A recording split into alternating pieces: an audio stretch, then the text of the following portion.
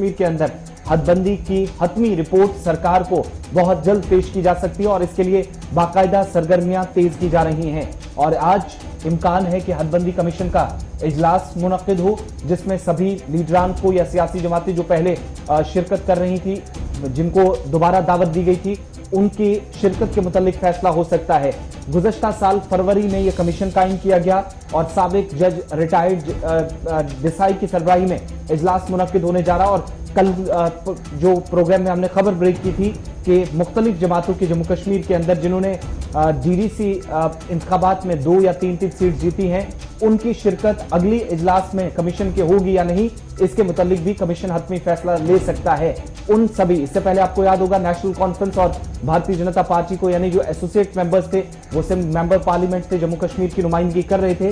लेकिन बाकी पार्टियों की तरफ़ से इसमें जो है वो जगह मांगी गई थी कि उनको भी थोड़ी स्पेस दी जानी चाहिए। जो जो पार्टियाँ रिकॉग्नाइज पार्टियाँ जम्मू कश्मीर के अंदर अब इस पर भी आज फैसला आने का इम्कान है कि कमीशन का जब इजलास होगा तो शायद अगले इजलास में तमाम पार्टियाँ जो कल हमने आपको खबर बताई थी उसकी अब तस्दीक कमीशन की तरफ़ से की जाए कुल जमाती इजलास के अंदर जो बड़ा फैसला लिया गया था और इस बात का इशारा दिया गया था कि सभी जमातों की नुमाइंदगी हो सकती है उस सिलसिले में आज एक और कदम आगे बढ़ सकता है। और हदबंदी कमीशन का जो इजलास आज दिल्ली के अंदर मुनद होने जा रहा है। उसमें नई पार्टियों को किस तरीके से नुमाइंदगी दी जाए और उनका दायरे इख्तियार किस तरीके का होगा, उस हवाले से एक हतमी लाइन को खींचा जाएगा, जिसके बाद बहुत जल्द हदबंदी कमीशन का फुल बेंच का इजलास होगा, जिसमें इन सभी मेंबरों को बोलने की इजाज़त दी जाएगी। यानी कहीं ना कहीं अब ये इजलास सीधे सीधे श्रीनगर के अंदर हो सकता है। हदबंदी कमीशन के जरा से जो हमारे पास खबर है कि अगले महीने के वस्त तक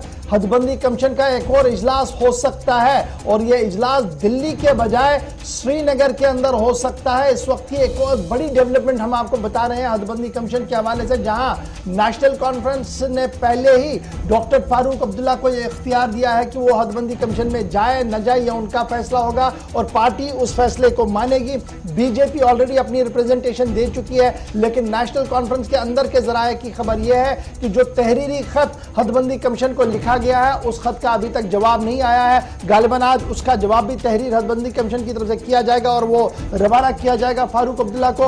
यानी आज कुछ नए मेंबरों को शामिल करने की बात होगी। उसके साथ साथ जो इलेक्शन कमीशन ने मीटिंग गुजशत दिनों ली थी, डिप्टी इलेक्शन कमिश्नर ने, जब सभी जिला तरक्याती कमिश्नरों से ऑनलाइन बातचीत हुई थी तो उस दौरान जो खाका खींचा गया था, जो बातें सामने आई थी, उस पर भी आज गुफ्तु होगी।